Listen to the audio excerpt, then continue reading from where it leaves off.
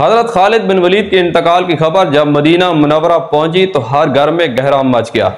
जब हज़रत खालिद बिन वलीद को कबर में उतारा जा रहा था तो लोगों ने देखा कि आपका घोड़ा अशजर, जिस पर बैठकर आपने तमाम जंगें लड़ी, वो भी आँसू बहा रहा था।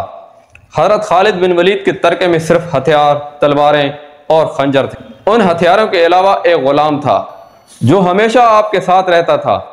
अल्लाह की ये तलवार, जिसने दो अजीम सल्तनतों रूम और ईरान के चराग गोल किए वफात के बाद उनके पास कुछ भी ना था। आपने जो कुछ भी कमाया, वो अल्लाह की राह में खर्च कर दिया था। सारी ज़िंदगी मैदान जंग में गुजार दी। साहबा ने गवाही दी कि उनकी मौजूदगी में हमने शाम और इराक में कोई भी जुम्मा ऐसा नहीं पड़ा था, जिससे पहले हम एक शहर फतह ना कर चुके यानी हर दो जुम्मों के दरमियानी दिनों में एक शहर ज़रूर फतह होता था।